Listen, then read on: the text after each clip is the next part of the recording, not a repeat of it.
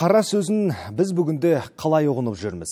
Қазақтың қара жер, қара халық, қара шаңырақ тіркестері қаншалық қарапайым болса, мағынасында сонша ұлылық жатқанын бүгінгі ұрпақ түсініп жүрме. Абайдың оңашада жазған терең ойлары неліктен қара сөз делінген? Өмірдің сырлы сұрақтарына жауап іздегіңіз келсе, Абайдың қара сөздеріне негізделген қара қойылымына барыңыз.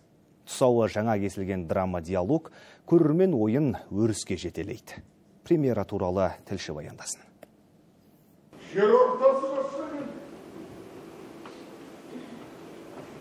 қажылық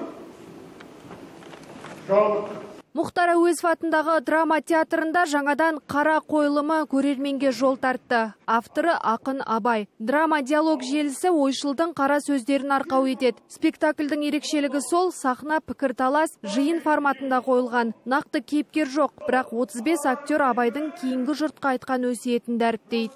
қара сөздеріне образ кейіпкерлік кейіп, образ бітіріп жан бітіріп бір кейіпкердің аузынан айтқандай әртүрлі кейіпкерлердің аузында айтылады.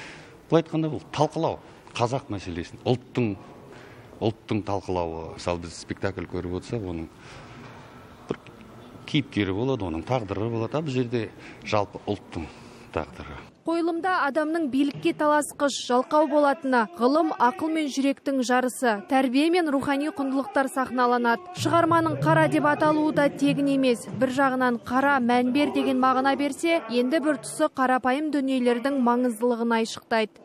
шындығында қазір біздің ұлттың рухы сөніп бара ғой сол ұлттық рухты ояту үшін жасалған дүние Өйткені көп жерде біз енді абайды қазақта сынағыш сыншыл ретінде де кемеңгер ретінде танимыз ғой бірақ бұл жердегі біздің енді дүние жасалып жатқан дүние бүгінгі осы абайдың сөздері арқылы ұлттық рухты ояту Спектакльге дайындық жұмыстары жыл басынан бері қолға алынған көрінеді. Алайда карантинге байланысты соны сахналау енді ғана бұйырып отыр дейді өнер иелері.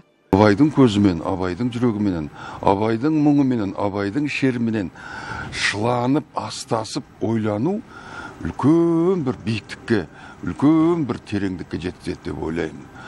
Ойландырады деп ойлаймын көрерменді және абайға деген ұлы махаббатын одан сайын өрбітетін сияқты өрбіту керек. Рухани азық алам деушілер театрға келмес бұрын карантин талаптарын ескеруі керек. Бетперде тағып ара қашықтықты ұстану қатаң қадағаланады. Келушілердің саны да жартылай қысқарған. Назген Еркін Ялкунжан Әшімжанов, Алматы телеарнасы.